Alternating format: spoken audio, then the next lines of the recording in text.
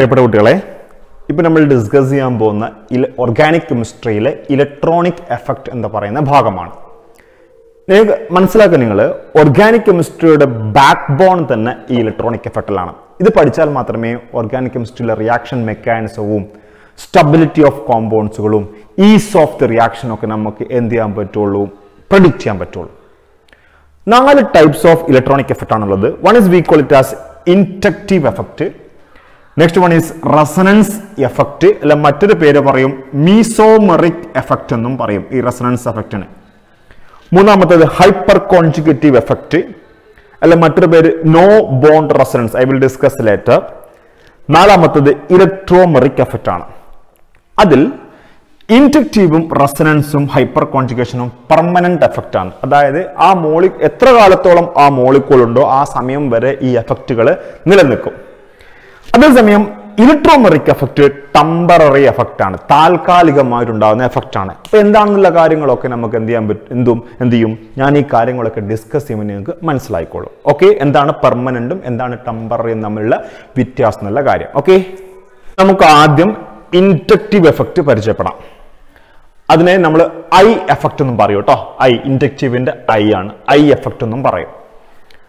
Consider A molecule ഇതൊരു മോളിക്കൂളാ നിങ്ങൾക്ക് ഇവിടെ കാണാൻ പറ്റും. ഇവിടെ ഒരു കാർബൺ കാർബൺ ബോണ്ട് ഉണ്ട്. കാർബൺ കാർബൺ ബോണ്ട് ഉണ്ട്. Again carbon carbon bond then carbon chlorine bond is the ഈ കാർബണിന്റെ ഈ കാർബണിന്റെ ഇലക്ട്രോൺ നെഗറ്റിവിറ്റി സെയിം ആ. പക്ഷേ ഈ കാർബൺ ക്ലോറിൻ ബോണ്ടിൽ യു ക്യാൻ സീ ദാറ്റ് ക്ലോറിന്റെ ഇലക്ട്രോ നെഗറ്റിവിറ്റി ഈ കാർബണിനേക്കാൾ കൂടുതലാണ്. തീർച്ചയായിട്ടും വട്ട് വിൽ ഹാപ്പൻസ് ദാറ്റ് ഇവിടുത്തെ ഈ ഷെയ്ഡ് പെയർ ഓഫ് ഇലക്ട്രോൺസുകൾ അങ്ങനെയാകുമ്പം ആരിലേക്ക് അട്രാക്ട് ചെയ്യപ്പെടും? ദാറ്റ് ഇസ് ക്ലോറിനിലേക്ക് അട്രാക്ട് ചെയ്യപ്പെടും. ക്ലോറിനിലേക്ക് അട്രാക്ട് ചെയ്യപ്പെടും. തൽഫലമായിട്ട് this chlorine will get a partial negative charge ഇലക്ട്രോണിന് കിട്ടുമ്പോൾ നെഗറ്റീവ് ചാർജ് അല്ലേ കിട്ടുക? ഒരു പാർഷ്യൽ നെഗറ്റീവ് ചാർജ് കിട്ടും. അങ്ങനെയാകുമ്പോൾ ഈ carbon electron നഷ്ടമാകുന്നു. This will get a partial positive charge കിട്ടുകയും ചെയ്യും ഇനി ഒരു കാര്യം മനസ്സിലാക്കാം. ഈ ക്ലോറിനും ഈ കാർബണും ഈ കാർബണും ഈ കാർബണും ഈ കാർബണും ഒക്കെ ഒരൊറ്റ കയറിലാണ് ബന്ധിപ്പിച്ചിരിക്കുന്നതെന്ന് വിചാരിക്കുക. ഒരൊറ്റ കയറിലാണ് ബന്ധിപ്പിച്ചിരിക്കുന്നത്. അങ്ങനെയാകുമ്പോൾ ഈ ക്ലോറിൻ ഈ ഷെയ്ഡ് പെർ ഓഫ് ഇലക്ട്രോൺസ് ഇങ്ങോട്ട് വലിക്കുമ്പോൾ തീർച്ചയായിട്ടും ആ വലിയുടെ ഒരു- ഒരു അംശം ഈ ബോണ്ടിലും ബാധിക്കും. വലിയുടെ കുറച്ച് ഭാഗം ഈ ബോണ്ടിലും ബാധിക്കും കുറച്ച് ഇതിവിടെയും ബാധിക്കും. ഐ മീൻസ് ഞാനിവിടെ ക്ലോറിൻ ഇവിടെ ഒരു കാർബൺ കാർബൺ കാർബൺ എല്ലാം കുറേ കാർബൺ ആറ്റങ്ങളിൽ കണക്ട് ചെയ്യാണ്. ഞാനിവിടെ പിടിച്ചിങ്ങോട്ട് വലിക്കുകയാണെങ്കിൽ ആ കയറിൽ കിടക്കുന്ന ബാക്കിയുള്ള കാർബൺ ഒക്കെ ആ വലിയുടെ സ്വാധീനം ഉണ്ടാവും so we can draw that ഇവിടെ ആ വലിയുടെ സ്വാധീനം ഉണ്ടാകും. ഇങ്ങനെ വരക്കാം. കേൾക്കണേ? ഇതിനും ആ വലിയുടെ സ്വാധീനം ഉണ്ടാകും. ഇവിടെ ഇങ്ങനെ വരക്കുന്നു. നിങ്ങൾ വരച്ചൊരു കാര്യം മനസ്സിലാക്കുക. ഇവിടെ ഞാൻ നാലാരോ ആണ് വരച്ചിരിക്കുന്നത്. ഇവിടെ മൂന്നാരോ ആണ് രണ്ടാരോ ആണ് ഒരാരോ ആണ് കാരണം ഈ ദൂരം കൂടുന്നതനുസരിച്ചിട്ട് ഇവിടുത്തെ ഈ വലിയുടെ ആ പുള്ളിന്റെ ഇന്റൻസിറ്റി കുറഞ്ഞു കുറഞ്ഞു കുറഞ്ഞു വരുന്ന കാണാൻ പറ്റും. We can say that this man get delta positive അല്ലേ? അങ്ങനെയാകുമ്പോൾ ഇദ്ദേഹത്തിനും അങ്ങനെയാകുമ്പോൾ ഒരു ഇലക്ട്രോണിന്റെ പുൾ ഫീൽ ചെയ്യുന്നതുകൊണ്ട് this man get double delta plus delta എന്ന് വെച്ചാൽ അർത്ഥം സ്മോൾ പ്ലസ് അങ്ങനെയാകുമ്പോൾ ഇതിന് പറയാ double delta means very small plus charge ഈ കാർബൺ ഫീൽ ചെയ്യും ഈ കാർബണിന് ട്രിപ്പിൾ ഡെൽറ്റ പ്ലസ് എന്ന് വെച്ചാൽ very very small positive charge feel ചെയ്യും. ഇതിനത്തിന് very very very small positive charge feel ചെയ്യും. ഇത് തന്നെയാണ് ഇൻഡക്റ്റീവ് എഫക്റ്റ് അപ്പൊ നിങ്ങൾ പരീക്ഷയ്ക്ക് നമ്മൾ എങ്ങനെ എഴുതും? It is a permanent effect എന്ന് വെച്ചാൽ ഈ മോളിക്കൂൾ ഉള്ള കാലത്തോളം ഈ ഒരു എഫക്റ്റ് അവിടെ നിലനിൽക്കും. It is a permanent effect due to movement movement of shared pair of electron shared pair of electron ഇതാണ് shared pair of electrons towards more electronegative atom ഇതാണ് more electronegative atom chlorine towards more electronegative atom അങ്ങനെ പറഞ്ഞേക്കാം. എന്നിട്ട് പറയാം നിങ്ങൾ this effect extend throughout the chain chain മൊത്തം ബാധിക്കും. But the intensity of the effect അതിന്റെ ഇന്റൻസിറ്റി അതിന്റെ കാഠിന്യം intensity of the effect decreases with distances ദൂരം കൂടുന്നതനുസരിച്ചിട്ട് ആ എഫക്റ്റിന്റെ സ്വാധീനം കുറഞ്ഞു കുറഞ്ഞു വരും. ഇത്രയാ പറയാ.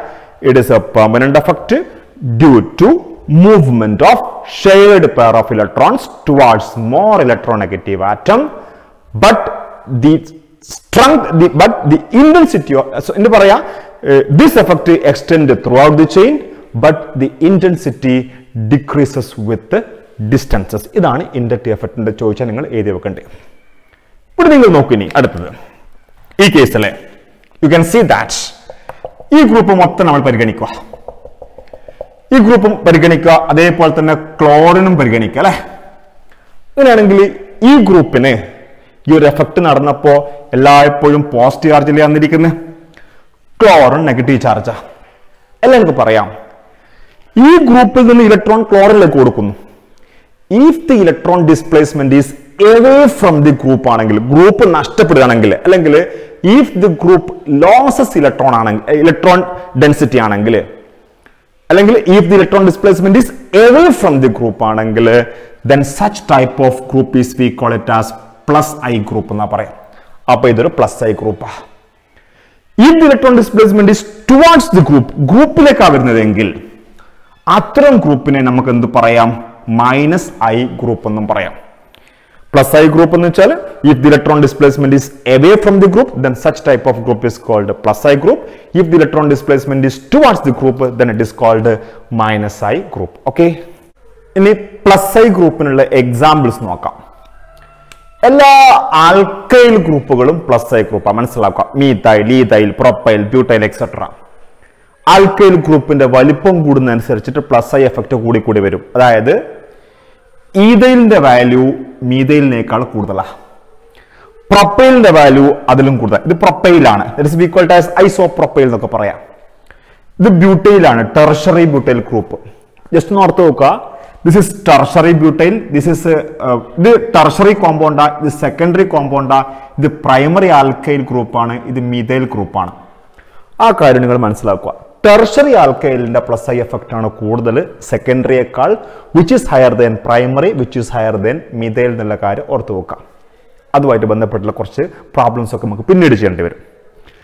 മൈനസ് ഐ എഫക്റ്റിന്റെ എക്സാമ്പിൾ എല്ലാ ഫങ്ഷണൽ ഗ്രൂപ്പുകളും മൈനസ് ഐ ഗ്രൂപ്പാണ് എക്സാം ഏറ്റവും powerful minus I group that is N O two group cyanide group C O H group X X means halogens next O C H three group H group C six H five that means benzene ring അതും minus I ഗ്രൂപ്പാണ് ഈ ഹാലജനിൽ ഏറ്റവും powerful ആരെന്നറിയോ? Fluorine higher than chlorine higher than bromine higher than iodine ആണ്. ഇനി മനസ്സിലാക്കുക ഈ പറഞ്ഞിരിക്കുന്ന ഇൻഡക്റ്റീവ് എഫക്റ്റുമായിട്ട് അതിന്റെ അപ്ലിക്കേഷൻ ഒരുപാട് കാര്യങ്ങൾ ഡിസ്കസ് ചെയ്യാറുണ്ട് stability of carbocations stability of carbanions അതേപോലെ തന്നെ basicity of amines etcetera etcetera പക്ഷെ നിങ്ങളുടെ സിലബസിൽ ഇപ്പം തൽക്കാലത്തേക്ക് സ്റ്റെബിലിറ്റി ഓഫ് കാർബോക്സിലിക് ആസിഡിന്റെ മാത്രമേ പറയുന്നുള്ളൂ. അതുകൊണ്ട് ഞാൻ ആ കാര്യം ഇവിടെ ഡിസ്കസ് ചെയ്യാം. ഓക്കെ ഇനി നമ്മൾ ഡിസ്കസ് ചെയ്യാൻ പോകുന്നത് അസിഡിറ്റി ഓഫ് കാർബോക്സിലിക് ആസിഡിനെ എങ്ങനെ ഇൻജക്റ്റീവ് എഫക്റ്റ് സ്വാധീനിക്കുന്ന കാര്യമാണ്. അത് നിങ്ങളൊരു കാര്യം മനസ്സിലാക്കുക. എന്താണ് ഈ അസിഡിറ്റി എന്ന് പറഞ്ഞാൽ? അസിഡിറ്റി ഈസ് നത്തിങ് ബട്ട് ഒരു സാധനത്തിന് ഒരു സ്പീഷീസിന് എച്ച് പ്ലസിന് എളുപ്പത്തിൽ ഡൊണേറ്റ് ചെയ്യാൻ പറ്റുകയാണെങ്കിൽ അത് നല്ല ആസിഡാണ് അല്ലെങ്കിൽ എച്ച് പ്ലസിൽ ഡൊണേറ്റ് ചെയ്യാനുള്ള കപ്പാസിറ്റിക്കാ പറയാം ബി കോൾട്ടാസ് അസിഡിറ്റി എന്ന് പറയാം. കാർബോസിലിക് ആസിഡ് പ്രത്യേകത ദേ ആർ വീക്ക് ആസിഡ് ആണ്. അതായത് എല്ലാ മോളിക്കൂളുകളും ഇപ്പോൾ ഹൺഡ്രഡ് മോളിക്കൂൾ നിങ്ങൾ എടുക്കുകയാണെങ്കിൽ നൂറ് ആൾക്കാരും അത് എച്ച് പ്ലസിന് ഡൊണേറ്റ് ചെയ്തിട്ട് അത് കാർബോക്സിലേറ്റ് അയോണായിട്ട് മാറൂല. വളരെ കുറച്ച് ആൾക്കാർ മാത്രമേ മാറുകയുള്ളൂ അതുകൊണ്ട് തന്നെ വീക്ക് ആസിഡ് എന്നാ പറയുന്നത് നിങ്ങൾ പഠിച്ചിട്ടുണ്ടായിരുന്നു. ഇനോ അങ്ങനെയാകുമ്പോൾ ഇയാൾ ഇത് ഡൊണേറ്റ് ചെയ്തിട്ട് ഇങ്ങനെയായിട്ട് മാറാൻ. ഐ മീൻസ് ഇതൊരു carboxylic acid we called as acidic acid ഇതായിട്ട് മാറാനുള്ള ടെൻഡൻസിയെ തീരുമാനിക്കുന്ന ഘടകം രണ്ട് ഘടകങ്ങളാണ്. ഒന്ന് ഓൾറെഡി ഉള്ള കാർബോക്സിലിക് ആസിഡിന്റെ എഫക്റ്റ് രണ്ടാമത്തത് ഇതിന്ന് എച്ച് പ്ലസ് ഡൊണേറ്റ് ചെയ്താൽ ഉണ്ടാകുന്ന ഈ കാർബോക്സിലേറ്റ് അയോണിന്റെ സ്റ്റബിലിറ്റി ഇപ്പോൾ ഫോർ എക്സാമ്പിൾ എന്റെ കയ്യിൽ നൂറ് C H three C O H മോളിക്കുണ്ടെന്ന് വിചാരിക്കുക റെഡി അല്ല നൂറ് കാർബോക്സിലിക് ആസിഡ് മോളിക്കൂൾ കയ്യിലുണ്ട്. അതിൽ ഒരു കാർബോക്സിലിക് ആസിഡ് മോളിക്കൂൾ എച്ച് പ്ലസിനെ ഡൊണേറ്റ് ചെയ്തിട്ട് എന്തായിട്ട് മാറി? കാർബോക്സിലേറ്റ് അയോൺ ആയിട്ട് മാറി എന്ന് വിചാരിക്കുക. അങ്ങനെയാണെങ്കിൽ ഈ കാർബോക്സിലേറ്റ് അയോണ് നല്ല സ്റ്റേബിൾ ആണെന്ന് വിചാരിക്കുക. അങ്ങനെയാണെങ്കിൽ തീർച്ചയായിട്ടും ബാക്കിയുള്ള കാർബോക്സിലിക് ആസിഡും ഇങ്ങോട്ട് പോകാൻ ശ്രമിക്കും. അതേസമയം ഈ ഉണ്ടായ കാർബോക്സിലിക് അയോണ് അൺസ്റ്റേബിൾ ആണെങ്കിൽ ഞാൻ ചോദിക്കട്ടെ ഈ ഹൺഡ്രഡ് കാർബോക്സിലിക് ആസിഡുള്ള ബാക്കിയുള്ള കാർബോക്സിലിക് ആസിഡുകൾ ഇങ്ങോട്ട് പോകാൻ വേണ്ടിയുള്ള ശ്രമം കുറവായിരിക്കും. ഫോർ എക്സാമ്പിൾ ഒരാൾ നമ്മുടെ നാട്ടിൽ നിന്ന് കേരളത്തിൽ നിന്ന് ഒരാൾ കേരളത്തിൽ നിന്ന് ഒരു ആഫ്രിക്കയിലെ ഒരു രാജ്യത്തേക്ക് പോയി. അവിടെ എത്തിയപ്പോൾ അവനവിടെ ഭയങ്കര സ്റ്റേബിൾ ആയിരിക്കുക സ്റ്റേബിൾ മീൻസ് ഭയങ്കരമായിട്ട് സെറ്റപ്പ് ഒക്കെ കിട്ടുന്നതായിരിക്കുക അങ്ങനെയാണെങ്കിൽ കൂടുതൽ കൂടുതൽ ആൾക്കാർ ആ രാജ്യത്തിലേക്ക് പോകും കേരളത്തിൽ നിന്ന് അതേസമയം ഇവൻ പോയി അവിടെ എത്തുമ്പോൾ അവന് ഭയങ്കര ബുദ്ധിമുട്ടും കഷ്ടപ്പെടുവാണെങ്കിൽ കൂടുതൽ ആൾക്കാർ അങ്ങോട്ട് പോകുമോ ഇല്ല അതുപോലെ. കേട്ടോളെ നിങ്ങൾ ഈ carboxylic acid H plus donate ചെയ്തിട്ട് ഇതായിട്ട് മാറി നേരിക്കുക അങ്ങനെയാണെങ്കിൽ കൂടുതൽ കൂടുതൽ ആൾക്കാർ ഇങ്ങോട്ട് പോകണമെങ്കിൽ ഈ ഉണ്ടായ ആൾ എന്തായിരിക്കണം? സ്റ്റേബിൾ ആയിരിക്കണം. കേൾക്കണേ പറഞ്ഞ്? സി ഇവിടെ കാണാൻ പറ്റും. ഇവിടെ സി എച്ച് ത്രീ ഗ്രൂപ്പും ഉണ്ട്. ഇവിടെ ക്ലോറിൻ എന്ന് പറയുന്ന ഗ്രൂപ്പും ഉണ്ട്. നമ്മൾ ഈ രണ്ടാളും നമ്മൾ കമ്പയർ ചെയ്യാൻ പോവാ. സി എസ് ത്രീ ഗ്രൂപ്പിന്റെ എഫക്ട് എന്ത് എഫക്റ്റാ പ്ലസ് ഐ എഫക്റ്റാ നിങ്ങൾക്കറിയാം. ക്ലോറിൻ എന്ത് എഫക്റ്റാ മൈനസ് ഐ എഫക്റ്റാ എന്താ പ്ലസ് ഐ എഫക്ട് എന്നാൽ എന്താ? ഇലക്ട്രോൺസിനെ അങ്ങോട്ട് പുഷ് ചെയ്യാം. ദാറ്റ് മീൻസ് ഇതാ ജസ്റ്റ് ലൈക്ക് ദിസ് വേ ഇങ്ങനെയാ പുഷ് ചെയ്യുന്നത്. ഇങ്ങനെ പോയി. അങ്ങനെയാകുമ്പോൾ നിങ്ങൾക്കറിയാം കാർബോക്സിലിക് ആസിഡ് എന്ന് വെച്ചാൽ ഇത് അത് കാർബോക്സിലിക് ആസിഡ് ആസിഡ് ആണെങ്കിൽ ഇവിടുന്ന് പൊട്ടിയിട്ട് എച്ച് പ്ലസ് പുറത്തേക്ക് പോകണം അല്ലേ? എച്ച് പ്ലസ് പുറത്ത് പോകണമെങ്കിൽ ഇയാൾക്ക് ഇലക്ട്രോൺസിനെ ഇങ്ങോട്ടേക്കല്ല വലിക്കേണ്ടത്? പക്ഷെ ഇദ്ദേഹത്തിന് പ്ലസ് ഐ എഫക്റ്റ് ആയതുകൊണ്ട് അങ്ങോട്ടേക്ക് പുഷ് ചെയ്യുന്നു. അങ്ങനെയാകുമ്പോൾ ഇവിടുന്ന് ഇത് എച്ച് പ്ലസ് ആയിട്ട് പുറത്തു പോകാനാണോ സാധ്യത കൂടുതൽ? എച്ച് മൈനസ് ആയിട്ട് പുറത്തു പോകാനാണോ? എച്ച് മൈനസ് ആയിട്ടാണ് കറക്റ്റ് കാരണം ഇലക്ട്രോണിനെ അങ്ങോട്ട് പുഷ് ചെയ്യുന്നുണ്ട്. ദഫോ അതുകൊണ്ട് തന്നെ ഇത് പൊട്ടിയിട്ട് എച്ച് പ്ലസിനെ കൊടുക്കാനുള്ള ടെൻഡൻസി കുറവായിരിക്കും ഈ ഗ്രൂപ്പ് അവിടെ വന്നത് എങ്കിൽ. അതേസമയം അത് ഇനി അഥവാ അത് പൊട്ടിയെന്ന് വിചാരിക്കാം. പൊട്ടിയാൽ ഈ മോളിക്കൂൾ ഉണ്ടാവും. കേൾക്കണേ ഒരു കാബ് ബോക്സിലെ ടൈമായിട്ട് മാറി. അഥവാ അത് പൊട്ടിയിട്ട് ഇങ്ങനെ മാറിയാൽ ഇങ്ങനെയായിട്ട് മാറി. ഇനി നിങ്ങൾ നോക്ക് ഇവിടെയും അദ്ദേഹത്തിന്റെ പ്ലസ് ഐ എഫക്റ്റ് ഉണ്ട് അല്ലേ ഇങ്ങനെ ഉണ്ടേ നോക്ക് നിങ്ങൾ. ഒരു സ്പീഷ്യസിന്റെ മേലെ ഒരു നെഗറ്റീവ് ചാർജ് ഇങ്ങനെ കോൺസെൻട്രേറ്റ് ചെയ്തിരിക്കുക ഏതെങ്കിലും ഒരു ആറ്റത്തിന്റെ മേലെ ചാർജുകൾ കോൺസെൻട്രേറ്റ് ചെയ്യണമെങ്കിൽ അത്തരം വസ്തുക്കളൊക്കെ അൺസ്റ്റേബിളാ ഇത് ഓൾറെഡി ഒരു നെഗറ്റീവ് ചാർജ് ഇവിടെ ഉണ്ട്. ഒരു കാര്യം നിങ്ങൾ പിന്നെയും ഈ സി എസ് ത്രീ ഗ്രൂപ്പിന്റെ പ്ലസ് ഐ എഫക്റ്റ് കൊണ്ടാണ് പിന്നെയും ഇലക്ട്രോൺസിന് എന്ത് ചെയ്യാൻ നമ്മൾ പുഷ് ചെയ്യുക ഇലക്ട്രോൺസിനെ പുഷ് ചെയ്യുമ്പോൾ ഇവിടുത്തെ നെഗറ്റീവ് ചാർജിന്റെ ഇന്റൻസിറ്റി കൂടും. നെഗറ്റീവ് ചാർജിന്റെ ഇന്റൻസിറ്റി കൂടിക്കഴിഞ്ഞാൽ ഇത് സ്റ്റേബിൾ ആയിരിക്കോ? മോ അൺസ്റ്റേബിൾ ആയിരിക്കോ? ഇത് അൺസ്റ്റേബിൾ ആയിട്ട് മാറും. അപ്പോൾ എനിക്ക് പറയാം പ്ലസ് ഐ എഫക്റ്റ് ഉള്ളത് എങ്കിൽ അത് ബ്രേക്ക് ചെയ്തിട്ട് കാർബോക്സിലേറ്റ് അയോൺ ആയിട്ട് മാറാനുള്ള ടെൻഡൻസി തന്നെ കുറവാണ്. ഇനി അഥവാ carboxylate ion ഉണ്ടാകുകയാണെങ്കിൽ that carboxylate ion is destabilized by the plus I effect എന്ന് പറയാൻ പറ്റും. ഇനി അതേസമയം നമ്മൾ ഇവിടത്തേക്ക് വരിക. ക്ലോറിന്റെ കേസിൽ ഇനോ മൈനസ് എഫക്റ്റ് അല്ലേ? അങ്ങനെ ആകുമ്പോൾ ഇലക്ട്രോൺസിനെ ഇങ്ങനെ പിടിച്ച് വലിക്കുക അല്ല ഇങ്ങനെ പിടിച്ച് വലിക്കുന്നു. അങ്ങനെയാകുമ്പോൾ ഇങ്ങനെ പിടിച്ച് വലിക്കുമ്പോൾ ഇവിടുന്ന് ഇത് എച്ച് പ്ലസ് ആയിട്ട് പുറത്ത് പോകാൻ സാധ്യത കൂടുതലാ. ആ- അങ്ങനെ പോയി എന്ന് വിചാരിക്കുക. അപ്പോൾ സാധ്യത കൂടുതലാണ് മീൻസ് എച്ച് പ്ലസിന് എളുപ്പത്തിൽ നഷ്ടപ്പെടാൻ നഷ്ടപ്പെടാൻ സാധ്യതയുണ്ട്. എച്ച് പ്ലസിനെ എളുപ്പത്തിൽ നഷ്ടപ്പെടുന്ന നമ്മൾ ഈക്വളിറ്റ് ആസ് ആസിഡിറ്റി എന്ന് പറയാം. മാത്രമല്ല ഇങ്ങനെയായി മാറി. അവിടുന്ന് എച്ച് പ്ലസ് നഷ്ടപ്പെട്ടാൽ ഇങ്ങനെയായിട്ട് മാറി അല്ലേ? ക്ലോറിൻ വീണ്ടും തന്റെ മൈനസ് എഫക്റ്റ് അവിടെ കാണിക്കും. ഇങ്ങനെ കാണിക്കും. ദാറ്റ് ഈസ് മൈനസ് എഫക്റ്റ് ഇവിടെ വീണ്ടും ഉണ്ട്. അങ്ങനെയാണെങ്കിൽ നോക്ക് ഇലക്ട്രോൺസ് ഇങ്ങോട്ട് പിടിച്ച് വലിക്കുമ്പോൾ ഇതിന്റെ മേലത്തെ നെഗറ്റീവ് ചാർജിന്റെ ഇന്റൻസിറ്റി കുറഞ്ഞു കിട്ടും. ഇന്റൻസിറ്റി കുറയുക മീൻസ് ദേ ഗെറ്റ് സ്റ്റബിലൈസ്ഡ് ആണ്. അപ്പം നമ്മൾ ഇങ്ങനെയാണ് പറയേണ്ടത് plus I effect plus I ഗ്രൂപ്പ്സുകൾ ഇത് വരച്ചു നോക്കണം plus I groups decreases the tendency of the carboxylic acid to loses H plus and if a carboxylate ion is formed it is destabilized by the plus I effect ഇത് വരച്ചട വെക്കുക whereas minus I group increases the tendency of carboxylic acid to losses H plus and if it loses H plus, a carboxylate ion is formed and they get stabilized by the minus I groups. ee കാര്യം പറഞ്ഞേക്കണം ningal ini namukku onnu rendu examples ചെയ്ത് നോക്കാം okay ഇനി ഈ question answer നോക്കി നോക്കാം നിങ്ങൾ C C L three C O H C H C L two C C H two C L C H C C H three C ഇതിൽ ആർക്കാണ് acidity കൂടുതലുള്ളത്? ഞാൻ ഓൾഡ് റെക്കോർഡ് വരച്ച് വെച്ചിട്ടുണ്ട്. വേഗത്തിൽ നിങ്ങൾക്ക് ആൻസർ ചെയ്യാൻ പറ്റും. ഇവിടെ മൂന്ന് ക്ലോറിൻ ഉണ്ട്. ഇതപ്പോൾ മൂന്ന് ക്ലോറിന്റെ മൈനസ് എഫക്റ്റ് ഉണ്ട്. അതുകൊണ്ട് അസിഡിറ്റി വളരെ കൂടുതലായിരിക്കും. ഇവിടെ രണ്ട് ക്ലോറിൻ രണ്ട് ക്ലോറിന്റെ minus I group minus effect ഉണ്ട്. അപ്പോൾ അസിഡിറ്റി കുറച്ചും കൂടി പിന്നെ അതിൽ കുറച്ച് കുറവ്. ഇവിടെ ഒരു ക്ലോറിനേ ഉള്ളൂ. അതുകൊണ്ട് അസിഡിറ്റി വീണ്ടും കുറഞ്ഞു. പിന്നെ ഹൈഡ്രജൻ ഉണ്ട് സി എച്ച് ത്രീ ഗ്രൂപ്പ് ഉണ്ട് അല്ലേ? H C O H means formic acid C H three C O H means methanoic അല്ലെങ്കിൽ അസിഡിക് ആസിഡ് ഹൈഡ്രജനും ഒരു ചെറിയൊരു മൈനസ് ഐ എഫക്റ്റ് ഉണ്ട് കേട്ടോ ചെറിയൊരു മൈനസ് ഐ എഫക്റ്റ് ഉണ്ട്. അപ്പോൾ അതുകൊണ്ട് അത് ഇതിനേക്കാൾ കൂടുതലായിരിക്കും. ഇയാൾക്ക് എന്ത് എഫക്റ്റ് മാത്രമേ ഉള്ളൂ? പ്ലസ് ഐ എഫക്റ്റ് മാത്രമേ ഉള്ളൂ. അതുകൊണ്ട് അസിഡിറ്റി ഏറ്റവും കുറവായിരിക്കും.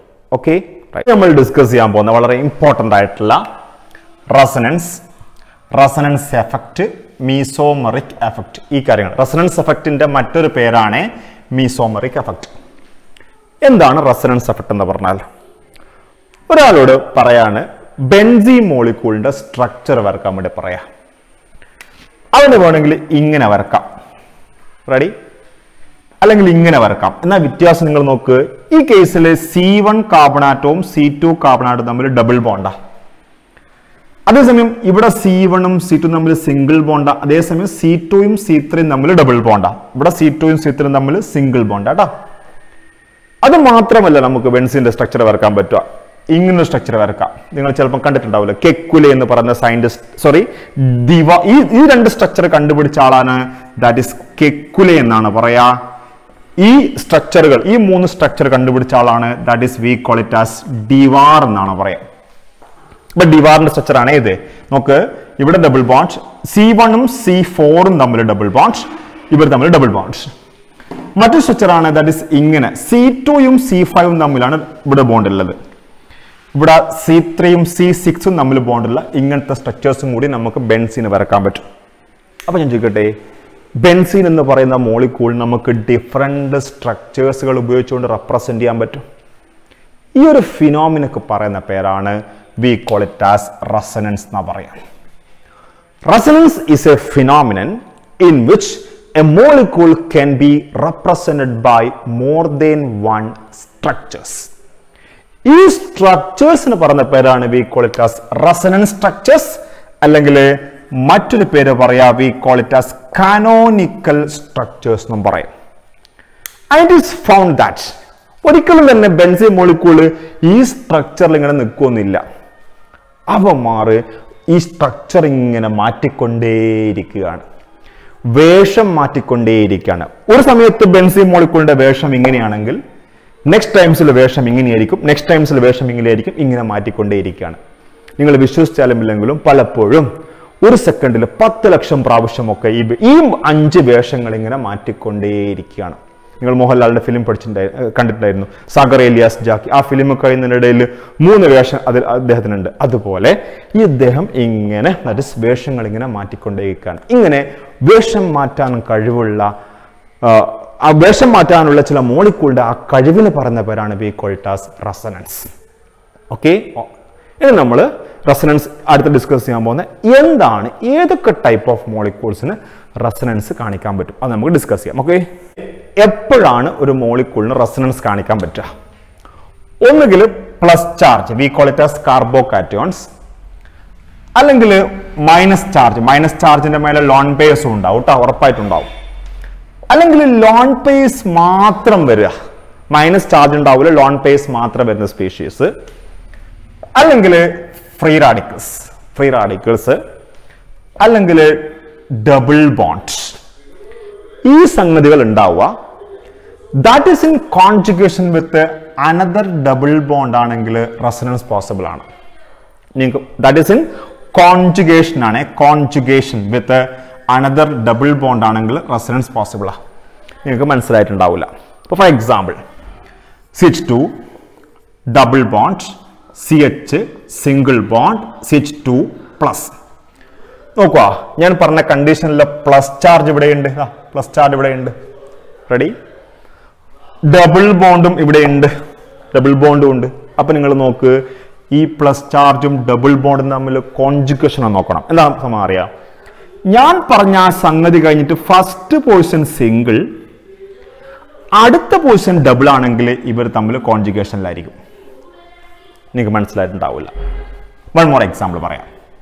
C H two double bond C H minus ആയിക്കോട്ടെ. ഞാൻ പറഞ്ഞതിലുള്ള മൈനസ് ഇവിടെ ഉണ്ട് ഇതാ മൈനസ് ഈസ് ദർ ഡബിൾ ബോണ്ടും ഉണ്ട്. പക്ഷേ ഈ മൈനസും ഡബിളും തമ്മിൽ കോൺജുഗേഷനിലല്ല മൈനസ് കഴിഞ്ഞിട്ട് first portion single next portion double ആ വരുന്നെങ്കിൽ മാത്രമേ അവർ തമ്മിൽ കോൺജുഗേഷനിലാവുള്ളൂ അപ്പൊ ഇവർ തമ്മിൽ കോൺജുഗേഷനിലല്ല one more example that One more example. That is uh, CH2 double bond CH single bond CH single bond CH2 free radical ആയിക്കോട്ടെ. നോക്ക് is free radical is the ഈ ഫ്രീ റാഡിക്കളും ഈ ഫ്രീ റാഡിക്കളും ഇപ്പൊ ഫ്രീ റാഡിക്കളും ഉണ്ട് ഡബിൾ ബോണ്ടും ഉണ്ട്. നോക്കിക്കോളെ നിങ്ങൾ free radical first portion single next portion single പിന്നെ സിംഗിൾ തന്നെ വരുന്നത് നെക്സ്റ്റ് പോർഷൻ ഡബിൾ അതുകൊണ്ടും കാര്യമില്ല. ഫസ്റ്റ് പോർഷൻ സിംഗിൾ കഴിഞ്ഞിട്ട് അടുത്ത പോർഷൻ ഡബിൾ ആണെങ്കിൽ മാത്രമേ അവർ തമ്മിൽ കോൺജുഗേഷൻ ഉണ്ടാവുള്ളൂ. അങ്ങനെയാണെങ്കിൽ C H two double bond C H single bond N H two ഈ മോളിക്കൂളിൽ നൈട്രജൻ തമ്മിലുള്ള ലോൺ പേയേഴ്സ് ഉണ്ട് ഇതാ ലോൺ പെയർ ഇതാ ലോൺ പെയർ ചാർജ് ഒന്നുമില്ല ലോൺ പെയർ അവിടെ ഉള്ളൂ. ലോൺ പെയർ സിംഗിൾ ഡബിൾ നോക്ക് ഈ ലോൺ പെയറും സിംഗിളും ഡബിളും തമ്മിൽ കോൺജുഗേഷൻ അല്ല ഫസ്റ്റ് പോർഷൻ സിംഗിൾ അടുത്ത പോർഷൻ ഡബിളാ ഇത് കോൺജുഗേഷൻ ഇല്ല റെസ്റ്റോറൻസ് പോസിബിളാ വൺ മോർ എക്സാമ്പിൾസ് പറയട്ടെ. C H two double bond C H single bond C H double bond C H two നോക്കണം നിങ്ങൾ ഡബിൾ ബോണ്ട് പെട്ട സാധനമാണ് ഇതാ ഡബിൾ ബോണ്ട് ഇസ് ദ അടുത്ത വീണ്ടും ഡബിൾ ബോണ്ട് ഉണ്ട്. നോക്ക് ഡബിൾ സിംഗിൾ ഡബിൾ അവർ തമ്മിൽ കോൺജുക്കേഷനാ പോസിബിൾ ആ. This is the condition for a molecule to show resonance നമുക്കിന് രണ്ട് മൂന്ന് എക്സാമ്പിൾസ് റെസണൻസ് വരച്ച് നോക്കാം. എന്നിട്ട് നമുക്ക് പഠിക്കാനുള്ള പ്രധാനപ്പെട്ട പഠിക്കാനുള്ള റെസണൻസ് എഫക്റ്റിലേക്ക് പോകാം. ഓക്കെ നമുക്ക് കുറച്ച് റെസണൻസ് വരക്ക് നോക്കാം. എങ്ങനെയെന്നുള്ള C H two double bond C H single bond C H two plus ആയിക്കോട്ടെ. നിങ്ങൾ നോക്ക് ഈ പ്ലസ് സിംഗിൾ ഡബിൾ അവർ തമ്മിൽ എന്തിലാണ്? കോൺജുഗേഷനിലാണ് ഇത് പ്ലസ് ആകാൻ കാരണം അവിടെ ഇലക്ട്രോണിന്റെ ദാരിദ്ര്യമുള്ളതുകൊണ്ടാ കേട്ടോ. എന്താ സംഭവിക്കുമെന്ന് അറിയാം? ഇവിടുത്തെ ഈ പൈ ഇലക്ട്രോൺസ് ഇങ്ങോട്ടേക്ക് ജമ്പ് ചെയ്യും. നിങ്ങൾ കുറേ വരക്കുമ്പോഴേക്കൊന്നും ശരിയായിക്കോളൂ. ഈ ഇവിടുത്തെ ഈ ബോണ്ട് ഇങ്ങോട്ട് ജമ്പ് ചെയ്യും. ജമ്പ് ചെയ്യുമ്പോൾ ആ മോളിക്കൂളിന്റെ സ്ട്രക്ചർ എന്തായിട്ട് മാറും അറിയാം? C H two C H ഇത് ഡബിൾ ബോണ്ട് ആയിട്ട് മാറും. അപ്പൊ സി എച്ച് ടു അങ്ങനെയാകുമ്പോൾ ഈ കാർബണിന്റെ ബാലൻസ് ഈ സാറ്റിസ്ഫൈഡ് ആ. കാർബണിന്റെ മേലെ നാല് ബോണ്ടായി രണ്ട് ഹൈഡ്രജനുമായി രണ്ട് ബോണ്ട് ഇവിടെയുണ്ട് നാല് ബോണ്ടായി പക്ഷെ ഈ കാർബണിന്റെ മേലെ നാല് ബോണ്ട് ഇല്ല. അതുകൊണ്ട് മൂന്ന് ബോണ്ടേ ഉള്ളൂ അപ്പോൾ ഓട്ടോമാറ്റിക്കലി പ്ലസ് ചാർജ് ഇവിടെ എത്തിക്കോളൂ. മൈ പോയിന്റ് നെക്സ്റ്റ് ഒരു എക്സാമ്പിൾ പറയട്ടെ C H two double bond C H single bond C H two free റാഡിക്കളാ ഇവിടെയും റെസനൻസ് പോസിബിളാ എങ്ങനെ പോസിബിളാണ് നമ്മൾ നോക്കുക ഇവിടെ ഇപ്പോൾ എന്റെ ഉദ്ദേശം ഇതാണേ ഈ ഫ്രീ റാഡിക്കളിനെ എനിക്ക് ഇവിടെ എത്തിക്കണം. എന്താ ചെയ്യുകയെന്ന് വെച്ചാൽ that is what is doing is that ഈ ബോണ്ടിൽ ഇപ്പോൾ രണ്ട് ഇലക്ട്രോൺസ് ഉണ്ട്. അതിലുള്ള ഒരു ഇലക്ട്രോൺസ് ഇങ്ങോട്ട് ചാടും. ഇവിടുത്തെ ഈ ഇലക്ട്രോൺസും ഇങ്ങോട്ട് ചാടും. അപ്പോൾ ഒരു ഇലക്ട്രോൺസ് ഇവിടെ ഫ്രീ ഉണ്ടല്ലോ എന്ന് നോക്കിക്കോളെ വരക്കുന്നത്. അങ്ങനെയാവുമ്പോൾ what will happen that CH2 single bond C H double bond C H two ഇത് ഡബിൾ ബോണ്ട് ആയിട്ട് മാറില്ല ഇവിടെ ചാടി കഴിഞ്ഞാൽ ഇവിടുത്തെ ഇലക്ട്രോൺസ് ഇതിന്റെ മേലത്തേക്ക് വരും. ദാറ്റ് ഇസ് ഇതാ ഇങ്ങനെയായിട്ട് മാറും അപ്പോൾ ഇപ്പൊ നിങ്ങൾ നോക്ക് ഈ മോളിക്കുളുടെ സ്ട്രക്ചർ മാറിയില്ലടോ? മാറിയിട്ടുണ്ട്. One more example I am gonna say C H two double bond C H single bond next C H single bond N H two ഇങ്ങനെ ആയിക്കോട്ടെ. ഈ നൈട്രജന്റെ മേലെ ലോൺ പേസ് ഉണ്ട്. അവിടെയും റെസനൻസ് പോസിബിളാ എങ്ങനെ ചാടുമെന്ന് അറിയാം ഇത് ഇങ്ങോട്ട് ചാടണ്ട. ഇങ്ങോട്ട് ചാടിയാൽ പിന്നെ ഈ നൈട്രജന്റെ ബാലൻസിൽ ഒരുപാട് കൂടിപ്പോവും. ആ ചാട്ടം എങ്ങനെയുണ്ടാവും അറിയാം ഇതാ ഇത് ഇങ്ങോട്ട് ചാടും. റൈറ്റ് ഇത് ഇങ്ങോട്ട് ചാടുമ്പം ഇത് ഡബിൾ ബോണ്ട് ആവില്ലടോ ഡബിൾ ബോണ്ട് ആവും. അങ്ങനെ ആകുമ്പോൾ ഈ കാർബണിന്റെ ബാലൻസ് കൂടിപ്പോയി. അന്നേരം എന്ത് ചെയ്യുന്ന ഈ ബോണ്ട് ഇങ്ങോട്ട് ചാടണം. തൽഫലമായിട്ട് യുനോ ദാറ്റ് ഈസ് ഇവിടെ സി എച്ച് ടു ഇവിടെ ഇപ്പൊ ഈ ബോണ്ടിൽ രണ്ട് ഇലക്ട്രോൺസ് അല്ലേ ഉള്ളത്? ഈ രണ്ട് ഇലക്ട്രോൺസും ഇങ്ങോട്ട് ചാടിയാൽ അതിന്റെ മേലെ രണ്ട് ഇലക്ട്രോൺസ് വന്നു. അനുസരിച്ചോളെ പറഞ്ഞാൽ ഈ ബോണ്ടിൽ ഇപ്പൊ രണ്ട് ഇലക്ട്രോൺസ് ഉണ്ട്. ഒന്ന് ഇയാൾക്ക് അവകാശപ്പെട്ടതാ ഒന്ന് ഇയാൾക്ക് അവകാശപ്പെട്ടതാ. അങ്ങനെയാകുമ്പോ ഈ രണ്ട് ഇലക്ട്രോൺസും ഇതിന്റെ മേലെ ചാടുമ്പോ ഈ രണ്ട് ഇലക്ട്രോൺസിൽ ഒരു ഇലക്ട്രോൺസ് ആരാന്റെ ഇലക്ട്രോൺസാ ഐ മീൻസ് ഈ കാർബൺ ഇലക്ട്രോൺസ് അന്യന്റെ ഇലക്ട്രോൺസാ അന്യന്റെതാണെന്ന് കാണിക്കാൻ വേണ്ടി നിങ്ങൾ ഒരു നെഗറ്റീവ് ചാർജ് കൊടുക്കുക നിൽക്കത്തോളെ അടുത്തത്. സി എച്ച് സി എച്ച് ഇത് ഡബിൾ ബോണ്ടായി ഇങ്ങനെയായിട്ട് മാറും. കുട്ടികളെ നോക്ക്. ഇവിടെ ഇപ്പോൾ ഈ ബോണ്ട് ഫോം ചെയ്യാൻ ഈ രണ്ട് ഇലക്ട്രോൺസ് ഇതിന്റെ മേലെ ചാടി. അപ്പോൾ ഇത് ബോണ്ട് ഫോം ചെയ്തു. ബോണ്ട് ഫോം ചെയ്തു അപ്പോൾ ആ രണ്ട് ഇലക്ട്രോൺസ് ആണ് ഇവിടെ ഉണ്ട് നൈട്രജൻ ഇലക്ട്രോൺസ് ആണ്.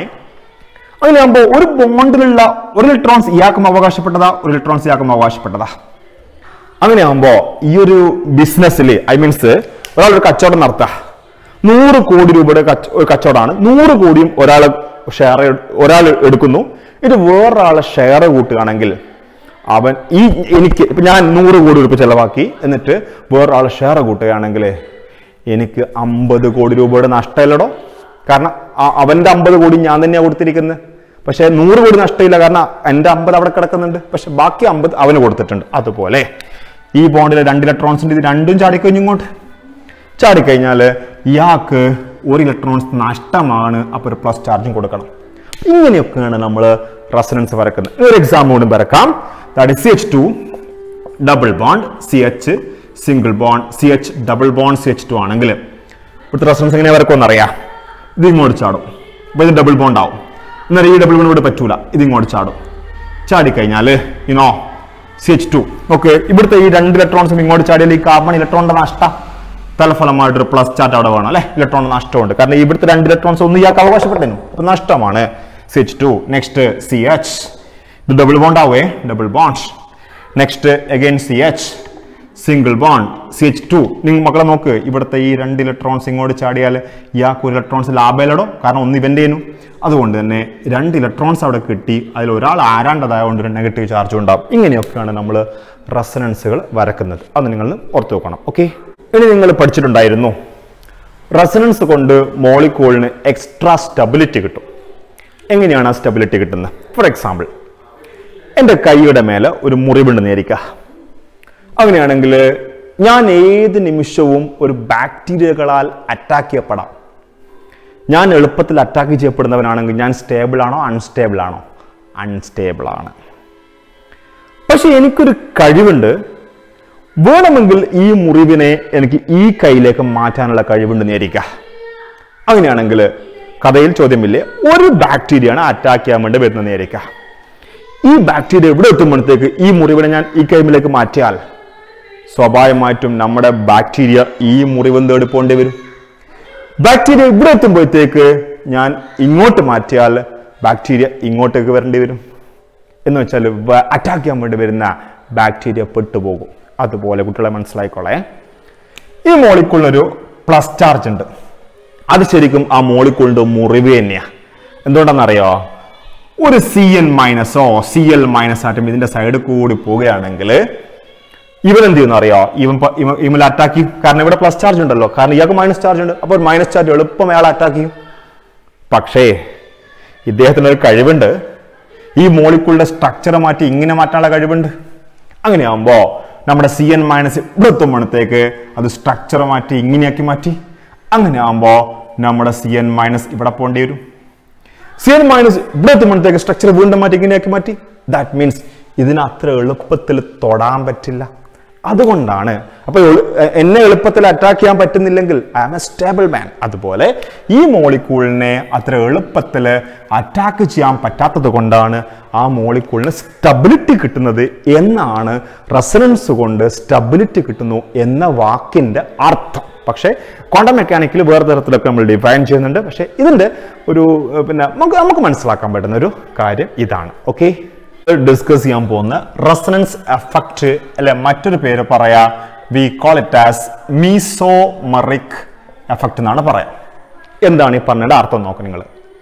നമുക്കറിയാം ഓർഗാനിക് കോമ്പൗണ്ടിൽ ഒരുപാട് ഫങ്ഷണൽ ഗ്രൂപ്പുകൾ ഉണ്ട് അല്ലേ എൻ എച്ച് ടു അതുപോലത്തെ ഒരു ഫങ്ഷണൽ ഗ്രൂപ്പാ ഇത് പറയാ N O two that is nitro group it's a functional ഗ്രൂപ്പാ ഈ ഗ്രൂപ്പുകളെല്ലാം തന്നെ റെസനൻസിൽ പങ്കെടുക്കുന്നത് വ്യത്യസ്ത തരത്തിലാണ് രണ്ട് തരത്തിലാണ് പങ്കെടുക്കുന്നത്. കുറയുന്നില്ല രണ്ട് തരത്തിലാണ് പങ്കെടുക്കുന്നത്. ഉദാഹരണം ഈ എൻ എച്ച് ടു ഗ്രൂപ്പിൽ ഈ നൈട്രജന് മേലെ ലോൺ പേസ് ഉണ്ട്.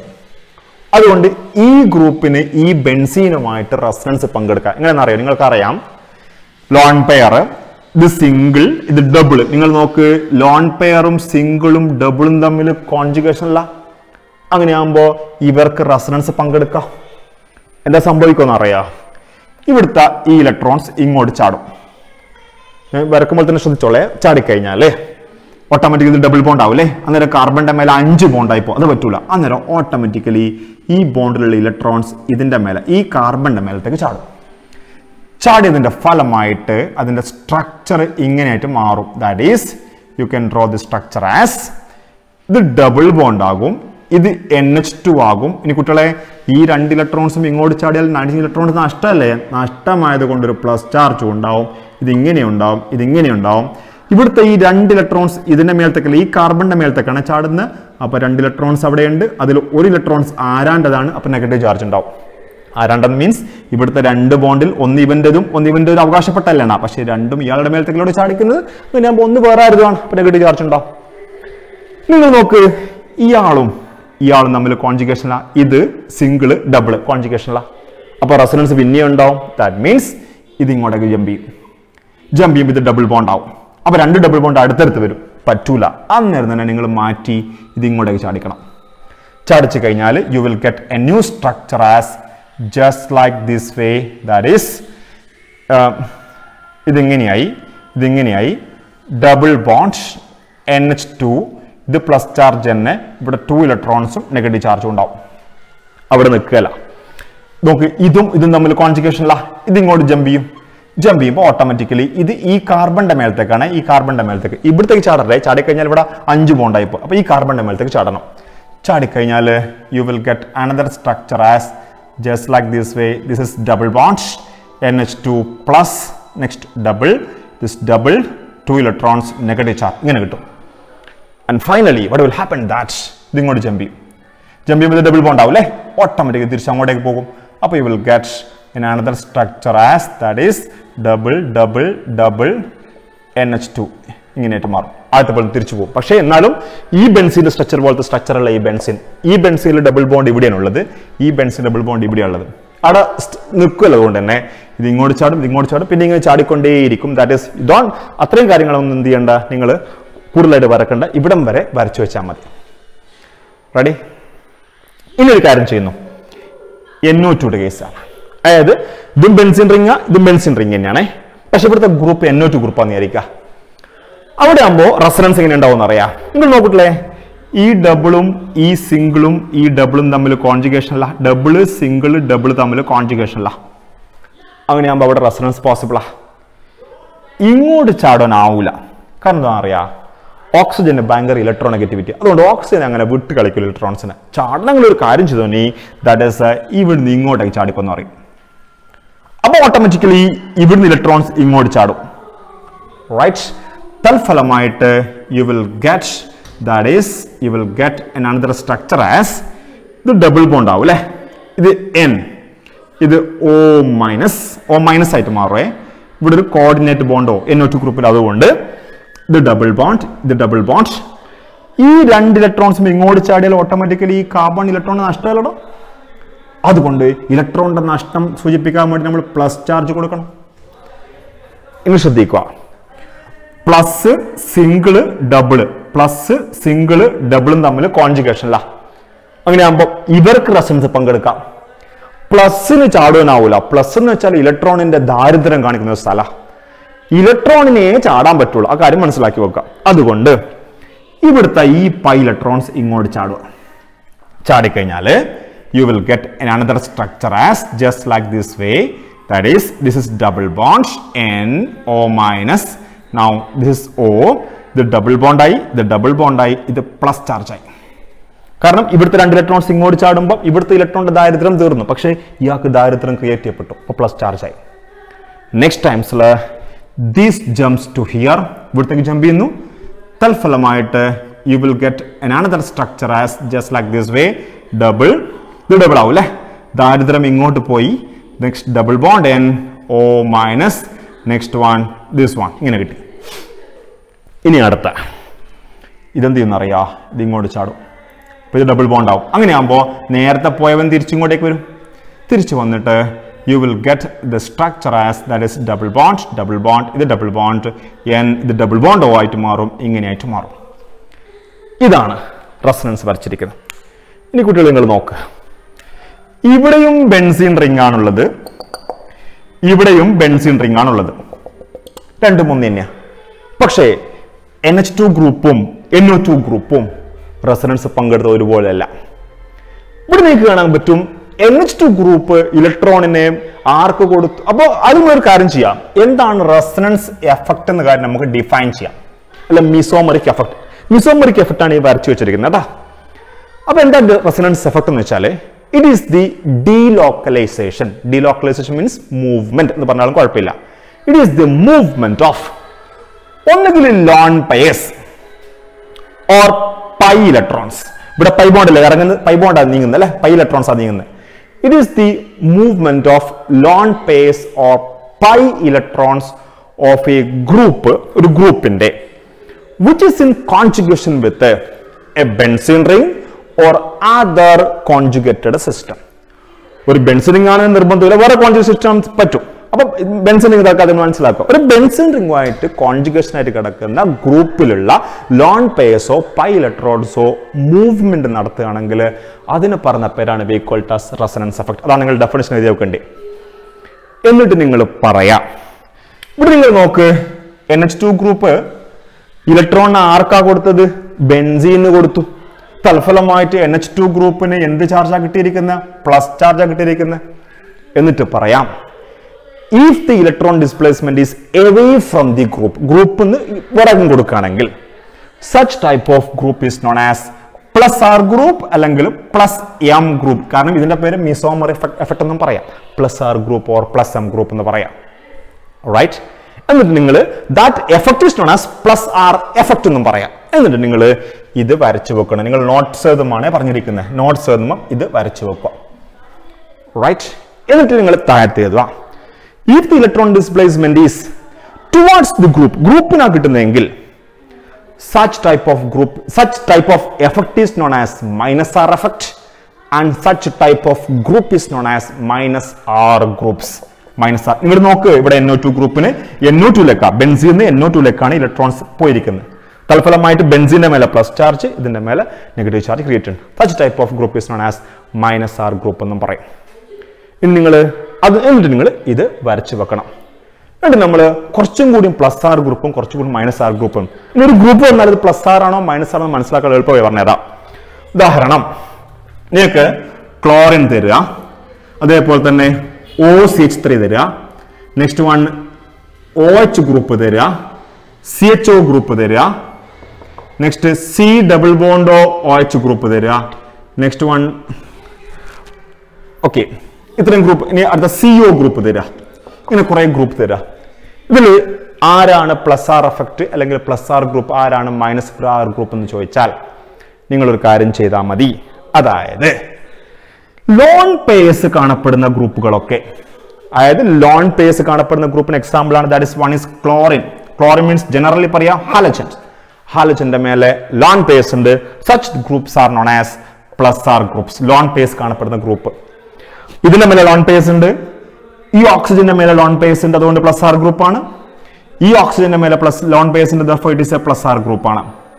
അതേസമയം ഡബിൾ ബോണ്ടുകൾ കാണപ്പെടുന്ന ഗ്രൂപ്പുകൾ എല്ലാം എന്ത് ഗ്രൂപ്പാണ് minus R ഗ്രൂപ്പാ example C H O aldehyde ഗ്രൂപ്പിൽ സി ഡബിൾ ബോണ്ടോ ഗ്രൂപ്പ് ഉണ്ട്. C H O C O O H അവിടെയും ഈ പറഞ്ഞിരിക്കുന്ന ഡബിൾ ബോണ്ട് ഉണ്ട്. C O I means keto group ഇവന്മാരൊക്കെ മൈനസ് ആറ് ഗ്രൂപ്പും ആയിരിക്കും. ഇനി ഒരു കാര്യം കൂടി നിങ്ങൾ ഓർത്തു വെക്കണം. പ്ലസ് ആർ എഫക്റ്റ് കൊണ്ട് വാട്ട് വിൽ ഹാപ്പൻസ് ബെൻസീൻ റിങ്ങിന്റെ മേലെ ഇലക്ട്രോൺ ഡെൻസിറ്റി കൂടിക്കൂടി വരും. കാരണം ബെൻസീൻ റിങ്ങിലേക്ക് ഈ പറഞ്ഞിരിക്കുന്ന പ്ലസ് ആർ ഗ്രൂപ്പുകൾ ഇലക്ട്രോണിനെ കൊടുക്കുന്നുണ്ട്. മൈനസ് ആർ എഫക്റ്റിന്റെ ഫലമായിട്ട് ബെൻസിൻ റിങ്ങിന്റെ മേലത്ത ഈ പറഞ്ഞിരിക്കുന്ന ഇലക്ട്രോൺ ഡെൻസിറ്റി കുറയുക ചെയ്യുന്നത്. അല്ലെങ്കിൽ ഇതിന്റെ മേലെ പ്ലസ് ചാർജുകൾ ക്രിയേറ്റ് ചെയ്യപ്പെടുന്നുണ്ട്. ഓക്കെ അപ്പൊ നിങ്ങളോട് ഒരാൾ ചോദിക്കുകയാണ് സി എച്ച് ത്രീ ഗ്രൂപ്പിന് അങ്ങനെയാണെങ്കിൽ പ്ലസ് ആർ എഫക്റ്റ് ആണോ അല്ലെങ്കിൽ മൈനസ് ആർ എഫക്റ്റ് ആണോ എന്ന് ചോദിച്ചാണ് നിങ്ങൾ ഉത്തരം പറയല്ലേ? കാരണം ഞാൻ നിങ്ങളോട് പറഞ്ഞേക്ക് റെസണൻസ് എഫക്റ്റ് കാണിക്കണമെങ്കിൽ ഗ്രൂപ്പിന്റെ മേലെ ഒന്നുകിൽ ലോൺ പേസ് വേണം അല്ലെങ്കിൽ ഡബിൾ ബോണ്ട് വേണം. ലോൺ പേസിലുള്ള ഗ്രൂപ്പ് എല്ലാം പ്ലസ് ആറ് ഡബിൾ ബോണ്ടുള്ള ഗ്രൂപ്പ് എല്ലാം മൈനസ് ആറ് അങ്ങനെ പറഞ്ഞിരിക്കുന്നത്. എൻ എച്ച് ടു ഗ്രൂപ്പിലെ എന്നിന്റെ മേലെ ലോൺ പേസിലുള്ള കൊണ്ട് പ്ലസ് ആറ് ഒ ഗ്രൂപ്പിൽ ഒയുടെ മേലെ ലോൺ പേസിലുള്ള കൊണ്ട് പ്ലസ് ആറ് ഡബിൾ ബോ എൻ ഒ ടു ഗ്രൂപ്പിൽ എന്നിന്റെ മേലെ ഡബിൾ ബോണ്ട് ഉള്ളത് കൊണ്ട് മൈനസ് ആറ് സി എച്ച് ഒ ഗ്രൂപ്പിൽ സിന്റെ മേലെ ഡബിൾ ബോണ്ടോ സി ഡബിൾ ബോണ്ടോ ഉള്ളത് കൊണ്ട് മൈനസ് ആറ് എക്സെട്ര അങ്ങനെയാകുമ്പോൾ സി എച്ച് ത്രീ ഗ്രൂപ്പിന് സി എച്ച് ത്രീ ഗ്രൂപ്പിന്റെ മേലെ ലോൺ പെയറും ഇല്ല ഡബിൾ ബോണ്ട് ഇത് രണ്ടുമില്ല അതുകൊണ്ട് ഇത് പ്ലസ് ആർ ഗ്രൂപ്പും അല്ല മൈനസ് ആർ ഗ്രൂപ്പും അല്ല. അതിന് റെസണൻസ് എഫക്റ്റിൽ ഒരു സ്വാധീനവും ഇ സി എച്ച് ത്രീ ഗ്രൂപ്പിന് ഇല്ല എന്നുള്ള കാര്യം കൂടി നിങ്ങൾ മനസ്സിലാക്കി വെക്കണം.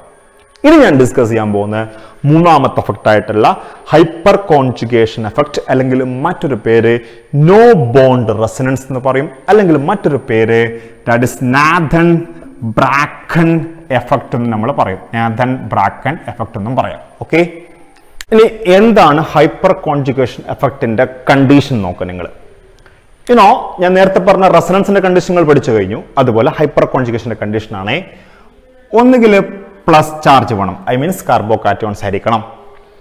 അല്ലെങ്കിൽ ഫ്രീ റാഡിക്കൽസ് ആയിരിക്കണം.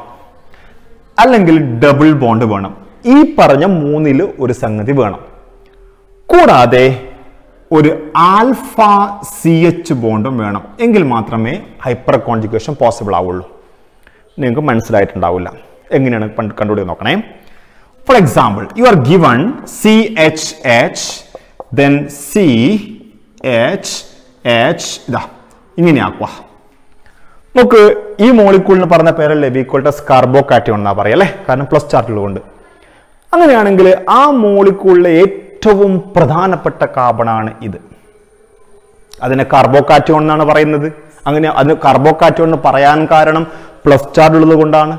അങ്ങനെ നമ്മൾ പ്ലസ് ചാർജ് ഉള്ള ആ കാർബൺ തന്നെയാണ് ഏറ്റവും പ്രധാനപ്പെട്ട കാർബൺ ഏറ്റവും പ്രധാനപ്പെട്ട കാർബന്റെ അയൽവാസി കാർബന്റെ പേരാണ് വീക്കോളിറ്റാസ് ആൽഫ കാർബൺ എന്നാ പറയാം. ആൽഫ കാർബന്റെ മേലത്തെ എച്ചിനെ എനിക്ക് പറയാം. ആൽഫ എച്ച് എന്ന് പറയും.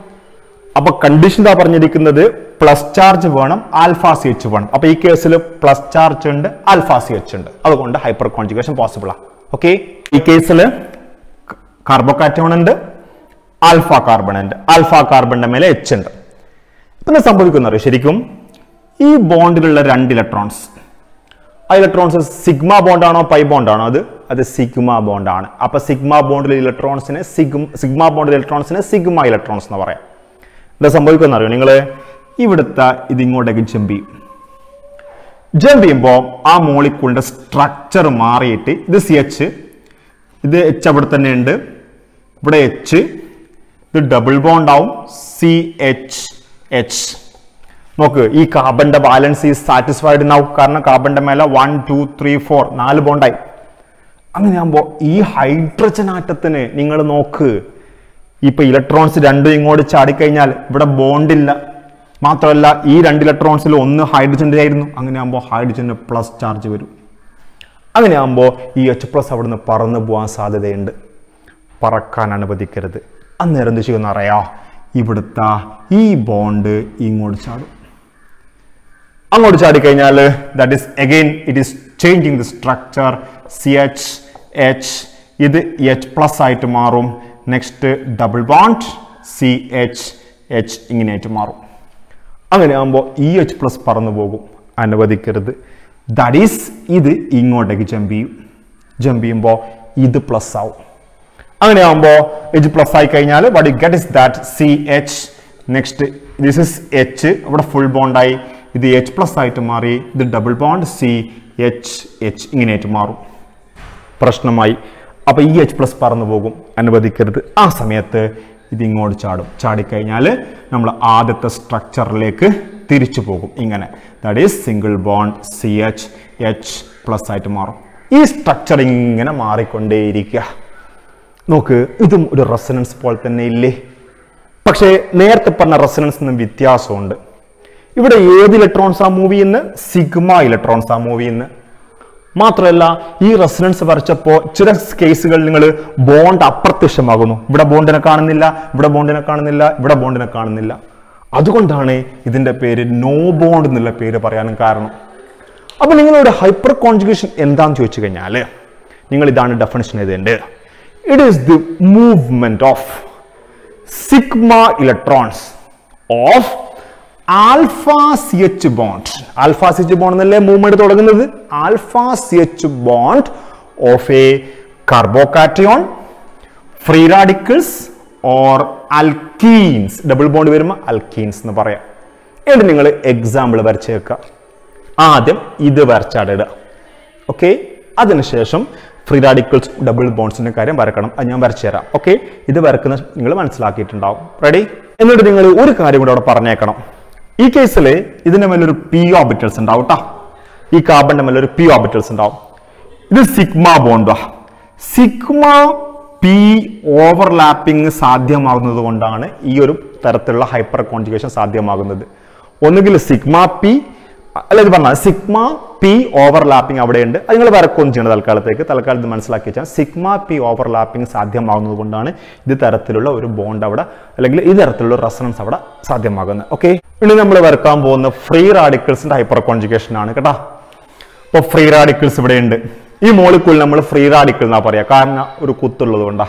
അപ്പോൾ ഈ കുത്തുള്ള കാർബണാണ് ഇമ്പോർട്ടന്റ് കാർബൺ ആറ്റം ആ ഇമ്പോർട്ടന്റ് കാർബൺ ആറ്റത്തിന്റെ അഡ്ജസന്റ് കാർബൺ ആറ്റത്തിന്റെ പേരാണ് we call it as alpha carbon atom അങ്ങനെയാകുമ്പോൾ ഇമ്പോർട്ടന്റ് കാർബൺ ആറ്റത്തിന് മേലെ ആൽഫ കാർബൺ ഉണ്ട് അതിന്റെ മേലെ ആൽഫ എച്ച് ഉണ്ട്. The for hyper conjugation is possible ഞങ്ങൾ പറഞ്ഞേക്ക് ഒന്നുകിൽ പ്ലസ് അല്ലെങ്കിൽ കുത്ത് അല്ലെങ്കിൽ ഡബിൾ ബോണ്ടും ആൽഫ സി എച്ചും ആണ് hyper കോൺജുഗേഷന്റെ condition what will happen you know ഈ ബോണ്ടിൽ ഇപ്പോൾ രണ്ട് ഇലക്ട്രോൺസ് ഉണ്ട്. എന്താ സംഭവിക്കുമെന്ന് അറിയാം. ഇവിടുത്തെ ഒരു ഇലക്ട്രോൺസ് ഇങ്ങോട്ട് ചാടും. അതിനാകുമ്പോൾ ഇവിടെ ഒരു ബോണ്ട് ഫോം ചെയ്യാൻ ഒരു ഇലക്ട്രോൺസ് കൂടി പോരെ? അതിലുള്ള ഒരു ഇലക്ട്രോൺസ് ഇങ്ങോട്ട് ചാടും. അതായത് ഈ ആൽഫ സി എച്ച് ബോണ്ടിലുള്ള ഒരു ഇലക്ട്രോൺസ് ഇങ്ങോട്ട് ചാടും. തൽഫലമായിട്ട് you will get a new structure as C H next the double bond C H H ഇങ്ങനെയായിട്ട് മാറും. ഇവിടെ എച്ച് ഫ്രീ റാഡിക്കൽസ് ആയിട്ട് മാറും. അങ്ങനെയാകുമ്പോൾ എച്ച് ഫ്രീ റാഡിക്കൽസ് പറന്നു പോകൂലേ? പറക്കാൻ അനുവദിക്കരുത്. ആ സമയത്ത് ഇവിടെയുള്ള ഈ ബോണ്ടിലുള്ള ഒരു ഇലക്ട്രോൺസ് ഇങ്ങോട്ട് ചാടും. അങ്ങനെയാകുമ്പോൾ ഇത് ഫുൾ ബോണ്ടായിട്ട് മാറും. ഇത് ഫ്രീ റാഡിക്കലായിട്ട് മാറും. നെക്സ്റ്റ് ടൈംസ് ഇത് ഇങ്ങോട്ട് ചാടും. ഇത് ബാക്കിയുള്ള കാര്യങ്ങൾ നിങ്ങൾ സ്വന്തമായിട്ട് വരച്ചോളാം. റൈറ്റ് ഇനി ഇത് മാത്രമല്ല യുനോ സി എച്ച് ഈ മോളിക്കുൾ വന്നിരിക്കുക. സി എച്ച് ഇത് that is double bond C H ഈ കേസിലും ഹൈപ്പർ കോൺജുഗേഷൻ പോസിബിളാ എങ്ങനെയാണെന്ന് അറിയാം നിങ്ങൾ ഞാൻ നേരത്തെ പറഞ്ഞ കണ്ടീഷൻ പെട്ട ആളല്ലടോ ഡബിൾ ബോണ്ട് ഡബിൾ ബോണ്ട് ഇവിടെ ഉണ്ട്. ഇനി ഈ മോളിക്കൂളിന് പറഞ്ഞ പേര് ലെവിക്കോൾട്ടാസ് അൽക്കീൻ എന്നാ പറയാ. അൽക്കീൻ എന്ന് പറയാൻ കാരണം അവിടെ ഡബിൾ ബോണ്ട് ഉള്ളത് കൊണ്ടല്ലേ? അങ്ങനെയാകുമ്പോൾ ഈ ഡബിൾ ബോണ്ട് കണക്റ്റഡ് ആയിട്ടുള്ള ഈ കാർബൺ ഈ മോളിക്കൂളിലെ ഏറ്റവും പ്രധാനപ്പെട്ട കാർബൺ ആറ്റങ്ങൾ. സ്ഥലത്തെ പ്രധാനിവന്മാരാ കാർബൺ ഈ കാർബണും കാർബണോ അപ്പൊ ഏറ്റവും പ്രധാനപ്പെട്ട കാർബൺ ആറ്റത്തിന്റെ മേലെ കണക്ട് ചെയ്യുന്ന കാർബൺ എന്ന് പറഞ്ഞ പേരാണ് ആൽഫ കാർബൺ അപ്പൊ എനിക്ക് പറയാം ഇത് ആൽഫ കാർബണാ എന്താ സംഭവിക്കുമെന്ന് അറിയാം. ഇവിടുത്തെ റെസിഡൻസ് ഇവിടെ ഹൈപ്പർ കോൺജക്ഷൻ എന്താ സംഭവിക്കുമെന്ന് അറിയാം. നേരത്തെ പറഞ്ഞ പോലെ തന്നെ ഇവിടുത്തെ ഈ ഇലക്ട്രോൺസ് ഇങ്ങോട്ട് ജമ്പ് ചെയ്യും. റെഡി അങ്ങനെയാകുമ്പോൾ ഇത് ഡബിൾ ബോണ്ട് ആവും. അപ്പോൾ ഓട്ടോമാറ്റിക്കലി ഇത് ഇങ്ങോട്ട് ജമ്പ് ചെയ്യും. തൽഫലമായിട്ട് you will get a structure just like this one C H H next ഇത് എച്ച് പ്ലസ് ആവും. ഇത് ഡബിൾ ബോണ്ട് ആവും. സി ഇവിടെ ഒരു ഹൈഡ്രജനാണ് ഉണ്ടാവുള്ളൂ കേട്ടോ സോറി സി എച്ച് നൗ ഇത് single bond C H H ഇവിടുത്തെ രണ്ട് ഇലക്ട്രോൺസും ചാടി വരുന്നത് കൊണ്ട് നെഗറ്റീവ് ചാർജ് ഉണ്ടാവും. റൈറ്റ് അങ്ങനെയാകുമ്പോൾ ഇത് പറന്നു പോകൂലേ ഇവിടുന്ന്? പറക്കാൻ അനുവദിക്കരുത്. ദാറ്റ് ഈസ് ഇവിടുത്തെ ഇതിങ്ങോട്ട് ചാടും. റൈറ്റ് അങ്ങനെയാകുമ്പോൾ ഇത് ഇത് ഫുൾ ബോണ്ട് ആവും ഇത് പ്ലസ് ആവും. നെക്സ്റ്റ് ഇത് ഇങ്ങോട്ട് ചാടും. ആൻഡ് ഫൈനലി ഇത് ഇങ്ങോട്ട് ചാടി തിരിച്ചു വരണം. അത് നിങ്ങൾ സ്വന്തമായിട്ട് വരച്ചോളാം. ദാറ്റ് മീൻസ് അൽക്കീൻസിന്റെ കേസിലും ഈ പറഞ്ഞിരിക്കുന്ന ഹൈപ്പർ കോൺജുഗേഷൻ പോസിബിളാണ് ഹൈപ്പർ കോൺജുഗേഷൻ ഒരുപാട് ആപ്ലിക്കേഷൻസ് ഉണ്ട്. സ്റ്റെബിലിറ്റി ഓഫ് കാർബോകാറ്റോൺസ് തീരുമാനിക്കുന്ന ഹൈപ്പർ കോൺജുഗേഷൻ ഉണ്ട്. സ്റ്റെബിലിറ്റി ഓഫ് ഫ്രീ റാഡിക്കിൾസിന് ഹൈപ്പർ കോൺജുഗേഷന് സ്വാധീനമുണ്ട്. സ്റ്റെബിലിറ്റി ഓഫ് ആൽക്കീൻസിനും ഹൈപ്പർ കോൺജുഗേഷന് സ്വാധീനമുണ്ട്.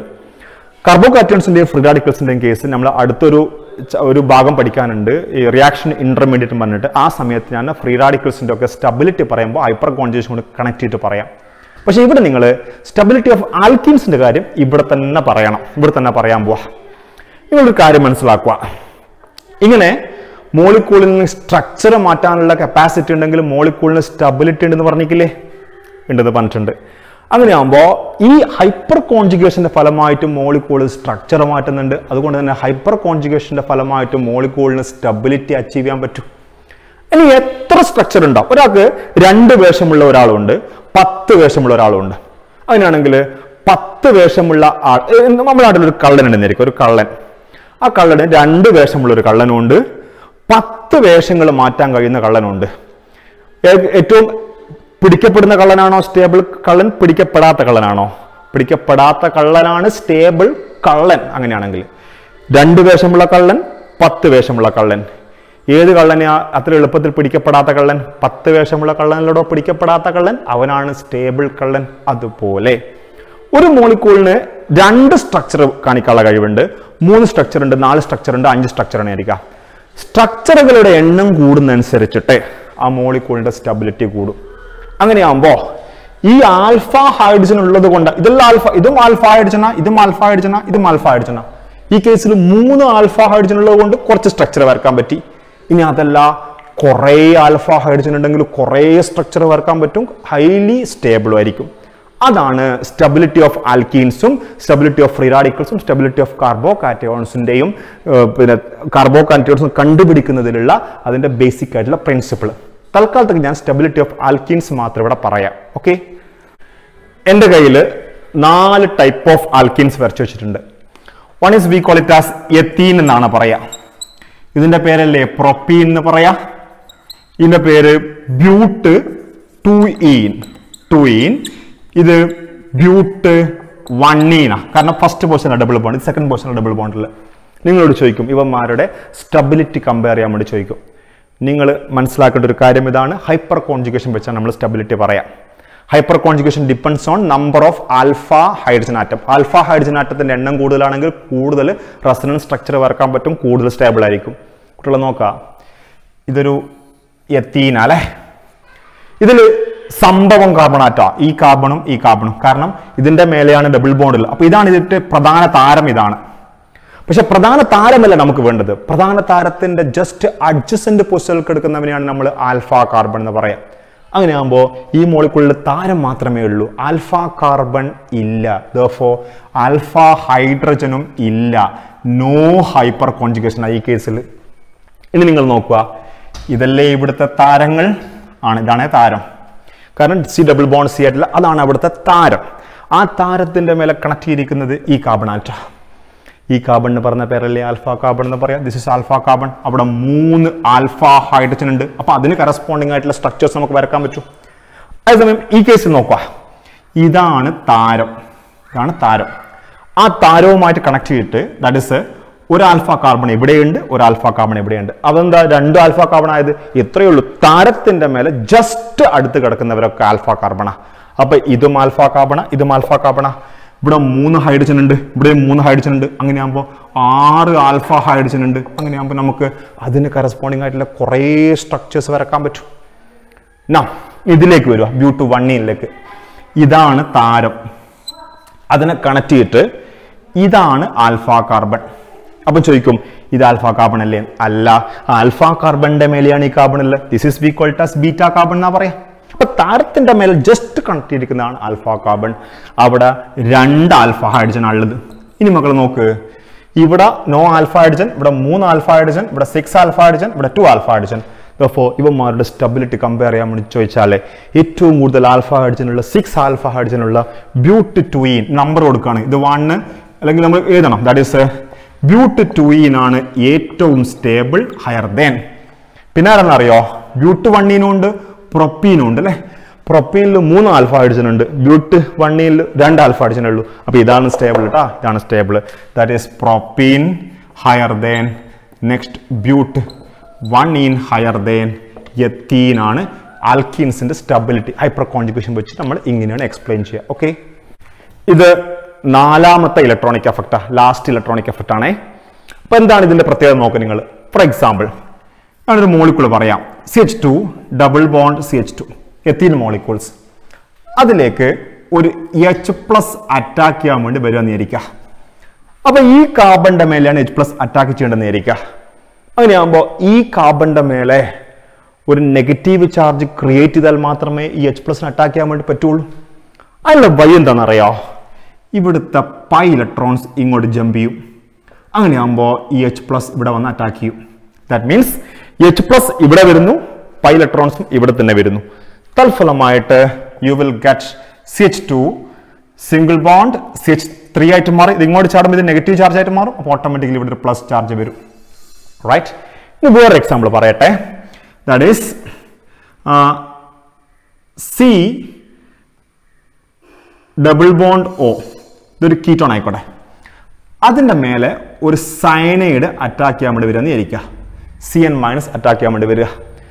ഈ കാർബണിന്റെ മേലെയാണ് സൈനൈഡ് അറ്റാക്ക് ചെയ്യേണ്ടതെന്ന് ഇരിക്കുക അങ്ങനെയാകുമ്പോൾ ഇതിന്റെ മേലെ എന്ത് ചാർജാണ് ക്രിയേറ്റ് ചെയ്യേണ്ടത്? പോസിറ്റീവ് ചാർജ് ക്രിയേറ്റ് ചെയ്യണം. അതിനുള്ള വഴി എന്താണെന്ന് അറിയോ? ഇവിടെ ഇങ്ങോട്ട് ചാടുക. അങ്ങനെയാകുമ്പോൾ സി എൻ മൈനസ് ഇങ്ങോട്ട് വരിക. Right തൽഫലമായിട്ട് you will get C O minus next this one and this one ഇങ്ങനെയായിട്ട് മാറും. ഇവിടെ നിങ്ങൾ നോക്ക്. What's the difference is that first കേസിൽ ഇവിടെ ഒരു കാർബൺ ആറ്റം ഉണ്ടെങ്കിൽ എച്ച് പ്ലസ് ഇവിടെ വരുന്നു. പൈ ഇലക്ട്രോൺസും ഇവിടെ തന്നെ വരുന്നു. രണ്ടും ഒരേ സ്ഥലത്തേക്ക് തന്നെയാണ് വരുന്നത്. രണ്ടും ഒരേ സ്ഥലത്തേക്കാണ് വരുന്നത്. നെക്സ്റ്റ് കേസിൽ സി എൻ മൈനസ് ഇവിടെ വരുമ്പോൾ പൈ ഇലക്ട്രോൺസ് ഇവിടുന്ന് പുറത്തേക്ക് പോകുന്നു. ദാറ്റ് മീൻസ് ഇങ്ങനത്തെ ഒരു അറേഞ്ച്മെന്റാ അതായത് സി എൻ മൈനസ് ഇവിടെ വരുന്നു. അതേസമയം പൈ ഇലക്ട്രോൺസ് ഇവിടുന്ന് എവേ ഫ്രം ദിസ് വൺ ആണ്. അങ്ങനെയാണെങ്കിൽ നിങ്ങൾ നോക്ക് ഈ കേസിലും ഈ കേസിലുമുള്ള പൈ ഇലക്ട്രോൺസിന്റെ മൂവ്മെന്റ് ഡിഫറെന്റ് അല്ലടോ? ഇനി കേൾക്കണം നിങ്ങൾ electromeric effect is nothing but ഇത് എപ്പോഴാണ് ഈ മൂവ്മെന്റ് നടന്നിരിക്കുന്നത്? എച്ച് പ്ലസോ അല്ലെങ്കിൽ സി എൻ മൈനസോ അറ്റാക്ക് ചെയ്യാൻ വേണ്ടി വരുമ്പോഴാണ് ഈ മൂവ്മെന്റ് വന്നിരിക്കുന്നത്. അതുകൊണ്ട് തന്നെയാണ് ഞാൻ നിങ്ങളോട് പറഞ്ഞത് ഇറ്റ് ഈസ് എ എന്ത് എഫക്റ്റ് ആണ് ടെമ്പററി എഫക്റ്റ് ആണ്. We can say that electromeric effect is a temporary effect താൽക്കാലികമായിട്ട് ആരെങ്കിലും അറ്റാക്ക് ചെയ്യാൻ വേണ്ടി വരുമ്പോൾ മാത്രമേ ഈ മൂവ്മെന്റ് ഓഫ് ഇലക്ട്രോൺസ് ഉള്ളൂ. Therefore we can that electromeric electromeric is a a temporary due to movement of എന്ത് ഇലക്ട്രോൺസാ പൈ ഇലക്ട്രോൺസ് ഇവിടുന്ന് പൈ ഇലക്ട്രോൺസ് ആ മൂവ് ചെയ്തിരിക്കുന്നത്. Pi electrons at the requirement of requirement of attacking reagent attacking റിയേജന്റിന്റെ ആവശ്യമാർത്ഥം pi ഇലക്ട്രോൺസുകൾ move ചെയ്യുക. അതിന്റെ പേരാണ് വീക്വൽട്ടാസ് ഇലക്ട്രോമറിക് എഫക്റ്റ് ഇനി മക്കളെ നോക്ക് രണ്ട് തരത്തിലുണ്ട് അല്ലെ ഒന്ന് ഇങ്ങനെയും മറ്റൊന്ന് ഇങ്ങനെയുമാണുള്ളത്. അങ്ങനെയാണെങ്കിൽ എനിക്ക് പറയാൻ പറ്റും ഇതിന് പറയുന്ന പേര് we call it as plus E effect ഇതിന് പറയാ മൈനസ് ഇ എഫക്റ്റ് എന്താ plus E effect minus E effect എന്നുള്ള വ്യത്യാസം എന്ന് വെച്ചാൽ പ്ലസ് ഇ എഫക്റ്റിൽ പൈ ഇലക്ട്രോൺസ് മൂവ് ചെയ്യുന്ന കാർബണും ഈ അറ്റാക്കിംഗ് റിയേജന്റ് പോകുന്ന കാർബൺ ആറ്റവും സെയിം ആണ്.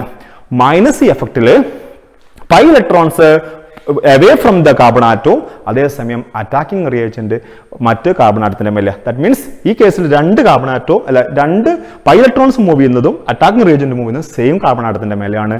പക്ഷേ ഈ കേസിൽ pi electrons is moving away from this carbon ആറ്റമാണ് that is minus C effect അത് നിങ്ങൾ വരച്ചു വെച്ചാലും മതി. ഇത്രയാണ് നാല് ഇലക്ട്രോണിക് എഫക്റ്റ് ഒരു എസ് എ ആണ് ഷുവറായിട്ട് ചോദിക്കും. Right okay thank